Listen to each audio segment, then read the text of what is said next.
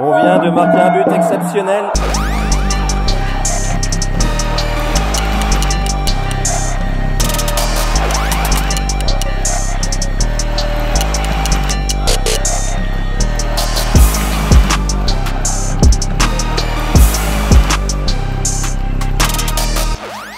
Ceux qui ne me connaissent pas, moi c'est Loïc, je suis supporter de l'AC Ajaccio depuis de nombreuses années, j'habite sur le continent alors voir les matchs à domicile c'est compliqué. Du coup, depuis 2011, je vais voir mon équipe préférée à l'extérieur, partout et tout le temps. Championnat, coupe, match amicaux. Et j'ai récemment dépassé la barre des 200 déplacements. Et je vous emmène avec moi. Avant c'était avec ma 106, mais plus maintenant. C'est parti Bonjour tout le monde, j'espère que vous allez bien. Nous sommes le samedi 6 avril 2024, il est 9h15 et c'est parti en direction de mon 241e déplacement. Et celui-ci, je l'attendais avec impatience parce que je vais à Pau. Pourquoi je l'attendais avec impatience? Tout simplement parce que c'est loin, et plus c'est loin, plus j'aime. Parce que j'y suis pas allé souvent, ce sera que ma troisième fois là-bas.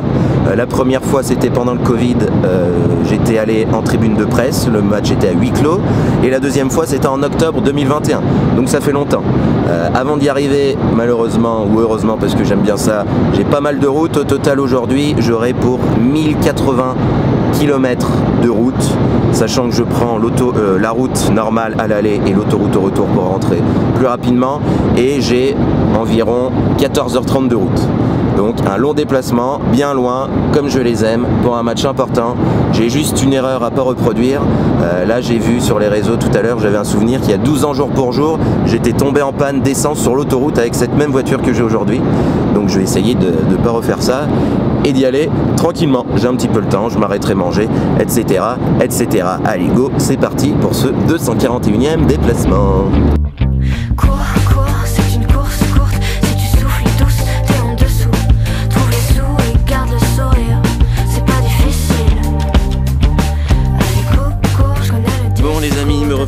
J'ai bien roulé, il est 14h et je suis arrêté dans la petite commune de Balizac. euh, sur une petite table, il y a l'église à côté, des garages avec écrit non LGV dessus, un petit, une petite rivière qui coule à côté.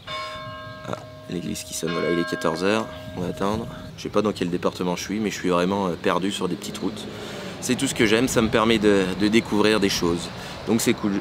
J'en profite pour faire la pause déjeuner, bien évidemment. J'ai pris pas mal de trucs, je vais vous montrer ce que j'ai acheté. Et après, petite dégustation, on va dire. J'espère qu'il n'y a pas trop de vent. Enfin, il y a du vent, mais j'espère que vous m'entendez bien. Donc déjà, j'ai récupéré des trucs du petit qu'il a eu à Pâques, des Kinder, avec plein de petits échantillons dedans. Dans le désordre, j'avais un petit peu faim sur la route. J'ai mangé des chips, Bretz, chili pointe de menthe. Je pense que c'est une de mes saveurs préférées, si vous voulez tout savoir. Il y a des voitures qui passent, qui me regardent, je suis gêné. J'ai aussi pris des dragibus, des gros, la base. J'ai pris de la noix de bœuf comme ça. Ah putain, je voulais m'acheter du pain sur la route. Tant pis. Red Bull, bien évidemment. Ça y est, j'ai une mauvaise nouvelle. La saison des clémentines est terminée. Mais maintenant, ça commence à être la saison des fraises. Donc des petites fraises, un petit saucisson. Ça, de la bûche macédoine. Ça va faire envie à personne. Et moi, ça m'a fait envie quand j'ai fait les courses. J'ai rien pour manger, donc ça va pas être pratique. Un petit peu de Liptonic, ça fait longtemps. De la cristalline. Et le dernier truc que je voulais tester depuis longtemps, moi qui suis un amateur de Suze, ouais, c'est un truc de vieux, mais de la Suze tonique, 0% alcool. Ça non plus, ça devrait pas plaire à beaucoup de monde, mais moi j'aime bien. Hâte d'être au match de ce soir, même si euh, la période sportive et même extra-sportive de la CA est pas euh, au top en ce moment. Euh, les résultats sont, on va dire, catastrophiques. On n'est plus qu'à 5 points du barrage pour la descente en nationale, sachant qu'il n'y a pas longtemps, on était encore en lice pour le barrage d'accession en Ligue 1. Donc on est quand même, on va dire, qu'à 8 points du barrage d'accession quand même. Mais avec ce qu'on montre en ce moment, avec ce qu'on fait, il y a zéro chance qu'on qu'on aille en barrage par rapport aux équipes qui sont en, top forme. Euh, c'est compliqué, donc comme je disais avant, on était euh, invaincu à domicile, là on continue, on a perdu à domicile, on continue de perdre à domicile. Sachant qu'à l'extérieur, on fait pas de bons résultats. La dernière victoire que j'ai vue à l'extérieur, c'était euh, au mois de, novembre à Grenoble. Donc pour vous dire qu'à l'extérieur, c'est assez compliqué. Niveau extra sportif, bon bah il y a un joueur qui a critiqué les supporters par exemple. Euh, Il y a un petit peu de rébellion des supporters aussi contre, euh, certaines décisions, etc. Donc ce qui est tout à fait compréhensible quand, au vu des résultats. Même si je reste positif, bien évidemment, je pense qu'on va réussir à se maintenir. Euh, il nous reste, même s'il nous reste des, gros matchs, on, on joue notamment contre Bordeaux. Ce soir, du coup, le résultat, euh, qu'est-ce que je vais dire? Pronostic, pronostic, je vais quand même dire 0-0 parce que je sens qu'on va y aller pour jouer le 0-0. C'est ce qu'il nous faut déjà pour nous relancer, pour reprendre confiance, donc pas encaisser de but. Gagner juste un point déjà, c'est mieux mieux que rien parce qu'on n'a pas beaucoup gagné euh, en ce moment. Donc on va dire qu'on va prendre un point à l'extérieur, pas encaisser de but et ça va nous permettre de nous relancer pour la, fin de saison. En tout cas, c'est ce que j'espère. Si on gagne, bien évidemment, c'est encore mieux, euh, mais, euh, mais ça risque d'être compliqué. On a aussi euh, quelques blessés, donc c'est chaud. Mais bon, ça va le faire. J'ai hâte d'y être. je finis de manger. Ah bah si, attendez, on va regarder ça. Je vais vous manger ma macédoine. Je vais manger ma macédoine avec vous. Je vais manger ça comme ça, excusez-moi.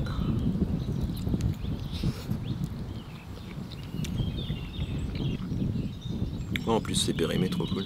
au moins 10 ans que j'avais pas mangé de la macédoine de légumes.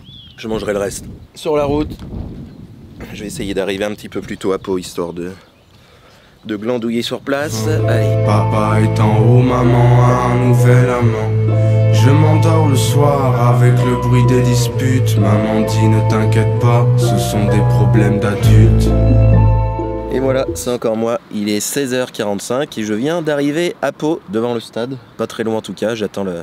Je vais me reposer un petit peu euh, avant de pouvoir rentrer dans le parking visiteur qui doit être pas très loin derrière moi. Il fait chaud, je suis en t-shirt, il va faire bon ce soir. Il disait 25, 25 degrés au moins je pense. Il y a des palmiers. Je me croirais en vacances, sauf que en fait je suis sur le parking d'un retour une petite sieste et à tout à l'heure. Allez, direction le parcage. On a discuté avec un autre supporter, on a bu un coup et maintenant on est garé juste à côté. On va aller voir s'ils veulent bien de nous. Normalement c'est là.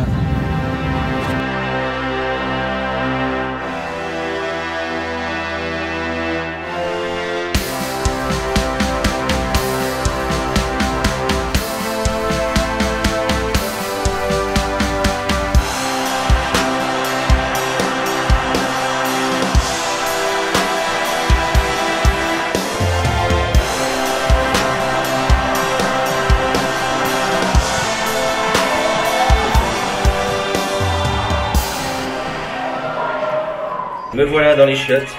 Donc je sais plus la dernière fois que je suis venu si, tout était là, j'ai pas l'impression. Là je me suis enfermé dans un chiotte qui fuit d'ailleurs. Le château est coincé. Je l'ai décoincé. Je m'appelle Didier, je suis installateur sanitaire.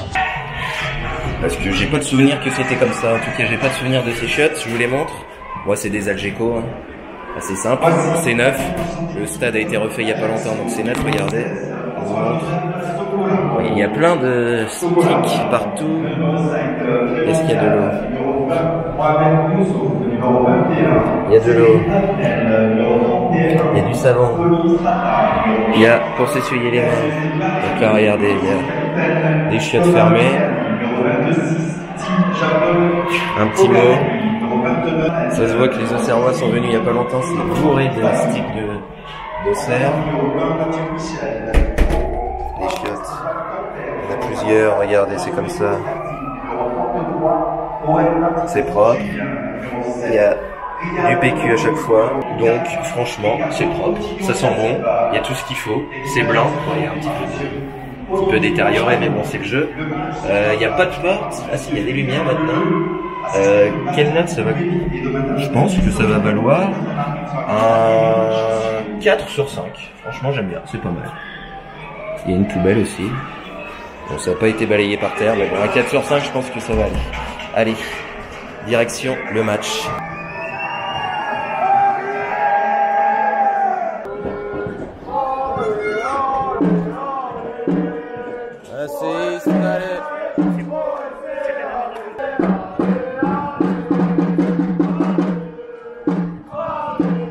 On vient de marquer un but exceptionnel, un coup franc de Mangani de 45 mètres que j'ai pas filmé malheureusement.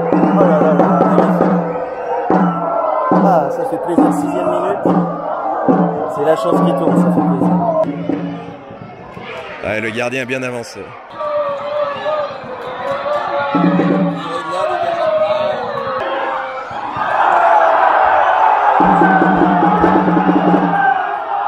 Allez Bouddha, allez. Ouais.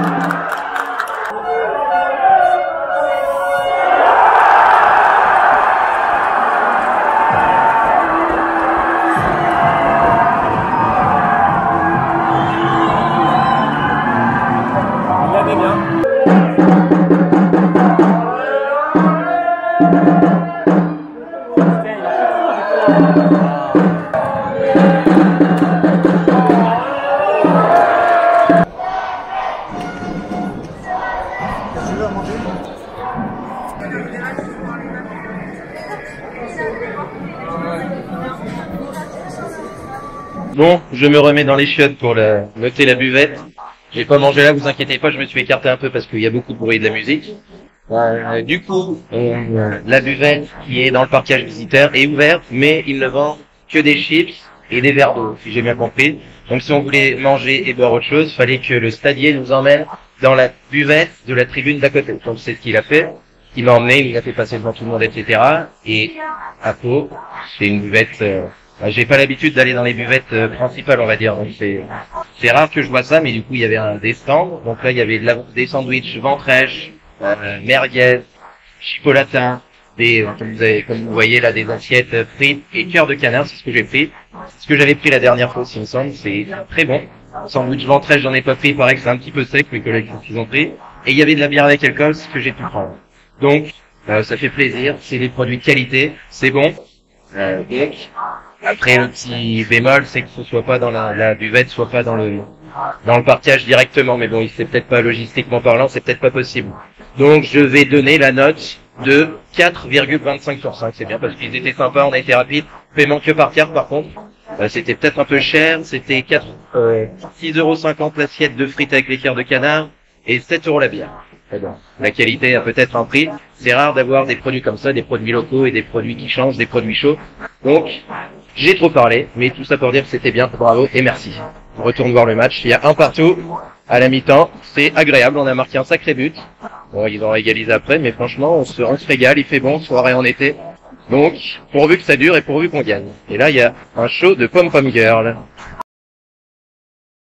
Bon, là, comme un débile, en filmant, j'ai fait tomber ma petite caméra sous la tribune. Heureusement, le stadier a pu aller la chercher rapidement, mais la chute l'a cassée. Elle faisait n'importe quoi. Oh. Oh.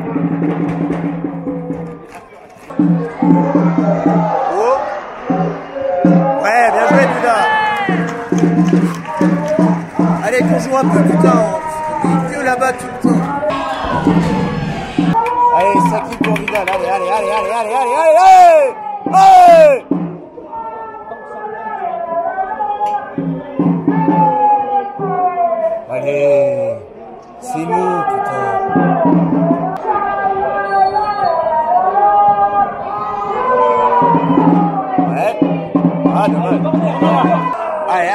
allez, allez, allez, allez. Vous voyez Allez, c'est reparti, c'est reparti. Ouais, c'est bien tiré. Ouais. Allez, but.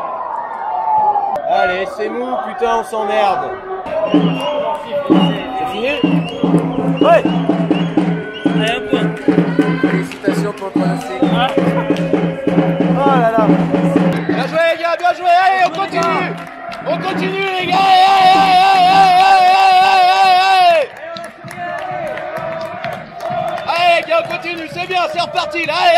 Et voilà les amis, 21h10 et on repart dans euh, Pau avec le match nul un partout. Je vous fais le débrief tout à l'heure, je roule un peu, je m'arrêterai pour vous faire le débrief. Comme ça, ce sera fait. Putain, focus à la con. Allez, souhaitez-moi bon courage du coup. Je prends l'autoroute pour le retour quand même un petit peu jusqu'à Bordeaux. Et j'ai 5h43 de route et j'arrive à 3h du matin si tout va bien chez moi. Mais bon, je sais que j'arriverai plus tard parce que je vais traîner. Vais brûler, je peux te jurer sur ma. Un jour tu m'aimes, un jour tu me. On pourrait crever pour une place au paradis. Il est 2h15, je suis plus qu'à 1h20 de chez moi, mais je suis mort, je commence à tomber de fatigue, donc je m'arrête. Je me suis arrêté sur le bord de la route, dans un petit bled, je sais pas où je suis, pour dormir un petit peu. Donc euh, bonne nuit les amis. 5h45, c'est reparti. Moi j'ai dans les putain. J'ai la flemme. Allez, encore une heure. Comme si c'était pas permis. Tous mes doutes, tant de trois ratures. J'ai nuit s'éternise. Messieurs, dames, il est 7h10 et je viens d'arriver chez moi. Maintenant, je vais dormir un petit peu. Parce que la journée n'est pas finie. Bonne nuit, merci de m'avoir suivi. À tout de suite. Bon les amis, nous sommes le lendemain, enfin tout à l'heure depuis, enfin nous sommes dimanche, il est midi quoi. Euh, Qu'est-ce que j'ai à vous dire? Plein de choses, je vais faire, vous faire le débrief de ce déplacement à Pau. Donc on est revenu avec le match nul, donc on met un terme à la spirale négative, on n'a pas gagné mais on va pouvoir recommencer sur de bonnes bases saines entre guillemets pour repartir de l'avant, gagner à domicile les prochains matchs etc. qui vont être très importants. On n'est plus qu'à... D'ailleurs tout à l'heure j'ai dit une bêtise, euh, j'ai dit qu'il y avait un barrage, je crois, avoir dit qu'il y avait un barrage pour la descente en national, mais en fait, il n'y a pas du tout de barrage. Chez les quatre derniers de Ligue 2 qui descendent, vu que la saison prochaine, la Ligue 2 passe à 18 clubs.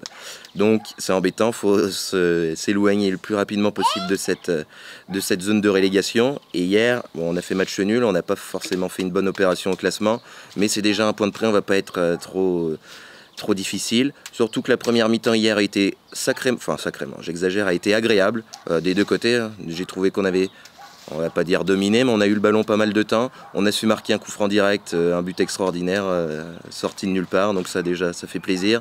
Un petit peu de chance. bon, Pau a égalisé après. Et euh, la deuxième mi-temps était clairement euh, pas catastrophique, mais bon, ça se voyait qu'on jouait pour garder le match nul un partout et pour pas perdre. Du coup, on n'est pas beaucoup sorti du, camp adverse, on n'a pas eu beaucoup d'occasions. Nous, Solacaro dans les buts a fait quelques arrêts quand même. Donc, le point du match nul, il est bienvenu. Ça n'a pas été la, deuxième mi-temps, voilà, c'était catastrophique quand j'y repense. il ne s'est pas passé grand-chose en tout cas de notre côté. Mais voilà, on est reparti avec le sourire, il faisait beau et surtout qu'on a été très bien accueillis. Ça, c'est ce que je voulais euh, signaler quand même parce que c'était vraiment. Euh, c'est très rare qu'on ait un si bon accueil. Par si bon accueil, j'entends que bah, les stadiers des gens étaient sympas. La fouille a été tranquille, ils n'ont pas déplié totalement la, bâche. La fouille corporelle a été vraiment euh, une palpation vraiment très, très discrète, mais bon, tant mieux. Et après, tout le monde est venu nous voir en parcage. Donc déjà, il y a le président de la CA, Daniel Buffano, qui est venu nous parler quelques minutes. Donc ça, c'est toujours agréable. Il n'est pas là tout le temps, mais dès qu'il est là, il vient nous voir. Donc ça, c'est agréable. Et après, il y a tout le club de Pau presque qui est venu me voir. Il va pas se la barrer, le chien, là? Donc, il y a euh, le stadium manager de Pau, il y a le directeur de la sécurité de Pau, il y a le référent supporter de Pau qui est venu, qui sont, ils sont tous venus nous voir pour savoir si, tout se passait bien pour nous, si on avait été bien accueillis, prendre des nouvelles, etc., euh, etc. Donc ça c'est très sympa. Les stadiers qui étaient avec nous pour nous surveiller, ils ont été sympas aussi. Ils nous ont dit si vous avez besoin de quelque chose, vous venez me voir, je vous emmène à la buvette de l'autre côté. Ou alors euh, j'ai demandé, le type il est parti me chercher ma, ma petite caméra tombée directement. Oui. Ah, t'as fait une jolie galette. Euh, pardon, une crêpe. Une crêpe C'est une crêpe à quoi euh, Au Nutella. Hum. Et moi, je vais mettre de la confiture. D'accord. Donc euh, l'accueil, c'est vraiment quelque chose que, que, je voulais signaler. C'est très rare qu'on soit accueilli comme ça, que euh, le club qu'on visite soit autant aux petits oignons. Donc tout s'est bien passé pendant le match, il n'y a pas eu de soucis. J'en viens à la note du parquage du coup. Allez, je vais donner un 3 sur 5. Donc comme je l'ai dit, c'est un stade que j'aime bien, il est assez simple, il est brut, euh, il est assez neuf, bah, il est neuf, il a été refait euh, il n'y a, pas si longtemps que ça. Euh, il est à taille humaine, le parquage est vraiment à la limite de la pelouse, hein. on peut sentir l'odeur, la pelouse était nickel d'ailleurs. Le seul bémol, bien évidemment, c'est ce filet là. Et en plus, les mailles sont épaisses, le filet est proche, Là, on pouvait le toucher. Des fois, on est un petit peu plus éloigné, donc on parvient à voir entre les, entre les, les mailles du filet. Là, c'est un petit peu plus compliqué, donc on voyait pas tout ce qui se passait à droite on voyait pas trop. Euh, même en face, bon, ce qu'on pouvait, avec euh, le fait qu'il soit proche, le filet, on pouvait passer les yeux à travers, et puis il y avait un ou deux petits trous par-ci par-là. Donc on a pu passer les yeux de temps en temps, mais c'est vraiment la catastrophe ces filets. Ils m'ont expliqué qu'ils euh, ont été installés pour la réception de Saint-Étienne, je crois, l'année dernière, et que depuis, il n'a jamais été enlevé. Donc c'est dommage, la première fois que je suis allé, enfin la deuxième fois que je suis allé là-bas, il n'y avait pas du tout de filet. Donc c'est bien mieux, mais bon, c'est les normes de la LFP, le club de Pau peut pas y faire grand-chose. Et, euh, voilà, ça gâche un petit peu tout quand même. Euh, le parquage est aux couleurs du club, c'est quand même propre, bah, c'est récent et tout. Donc euh, ça vaut bien la note de 3 sur 5. Sans le filet, ça aurait pu monter bien plus haut, malheureusement. L'ambiance, eh bien, le stade était quasiment plein. Enfin, en tout cas, de ce que j'ai vu, c'était plein. Euh, il y avait toute une tribune avec nous dans, le prolongement du, parquage. Et en fait, La particularité, c'est qu'il y avait un petit cop qui était juste à côté du parquage. Il y avait le parquage là, il y avait euh, deux trois rangées de libres de sécurité, et directement là, il y a un nouveau, euh, un nouveau cop d'ultra palois. Donc on m'a expliqué sur place que c'est une des supporters, on va dire, dissidents qui faisaient partie du grand groupe ultra palois avant, qui se sont, euh, qui s'entendaient pas trop et du coup qu'ils ont créé un deuxième cop à côté. Donc ils étaient une quinzaine avec euh, des anciens, euh, des très jeunes. euh, ils avaient un mégaphone, un tambour, ils chantaient et tout. C'était, c'était bon enfant.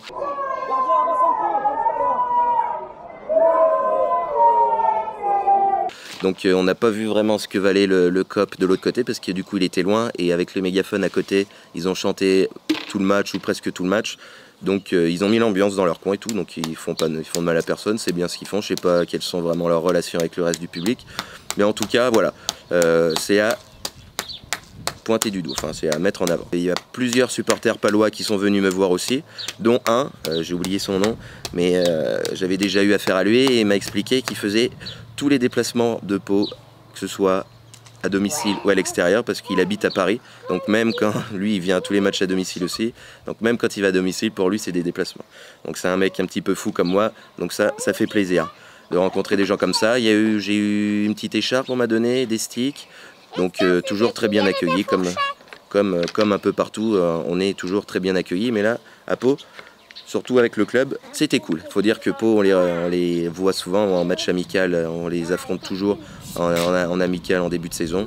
Donc il y a force avec les dirigeants du Pau. Je connais plus les dirigeants du Pau que de la CA presque. Je vais vous donner le coût de ce déplacement. Il m'a coûté, alors je lis les notes, 27 euros de péage, 5 euros la place de match, 115 euros d'essence, 13,50 euros de buvette, 25 euros de course, ce qui fait un total de 185,5 euros. C'est cher, mais bon, c'est à l'autre bout du, pays et tout, c'est pas, pas tout le temps qu'on va là-bas. Donc voilà, un bon petit déplacement. Là aujourd'hui, qu'est-ce qui m'attend? Euh, Mon équipe de foot, moi dans laquelle je joue, euh, a joué hier soir pendant le match à Pau. J'ai dû les, abandonner malheureusement, mais ça m'a fait plaisir parce qu'ils ont gagné 5-4. Ils ont été euh, à 10 contre 11 dès la 20e minute. Ils étaient menés 3-1, ils ont réussi à revenir à 3-3 et à gagner 5-4 à la fin. Donc euh, ça m'a ça m'a pimenté ma soirée d'hier aussi, ça m'a fait plaisir.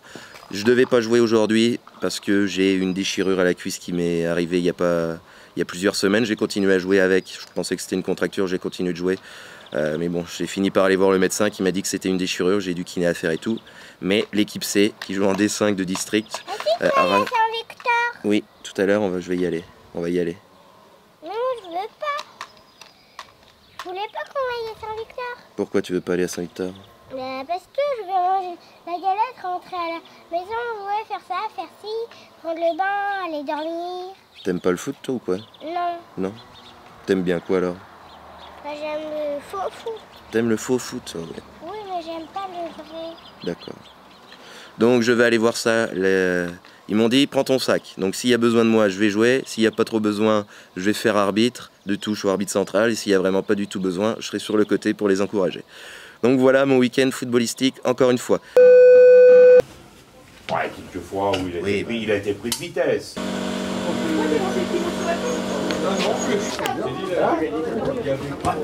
Ouais, Mathieu, bien battu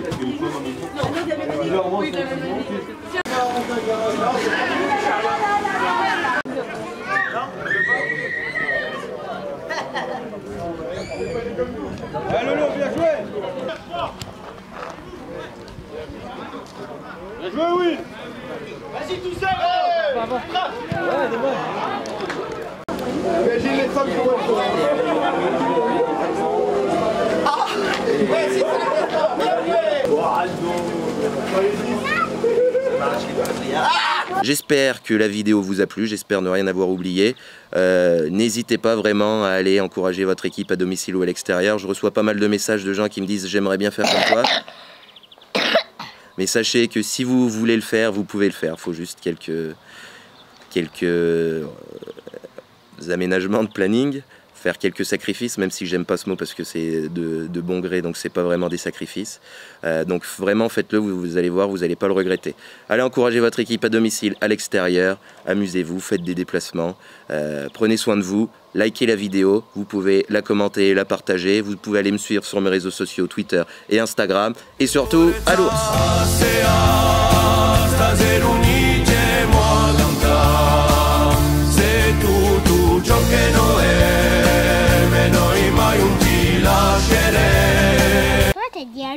Tu dis à l'ours, toi À l'ours Ouais, Pourquoi il faut dire à l'ours parce que c'est un slogan.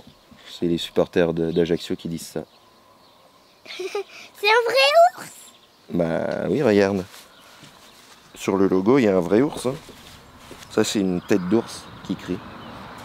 D'accord, oui, mais c'est- euh, pas un ours euh, tout avec des poils. Bah, c'est pas un vrai ours. hein. Imagine, il y a un vrai ours sur un sweat. Il nous mangerait. Ah oui, et il mange la galette maintenant. Allez, on mange les galettes.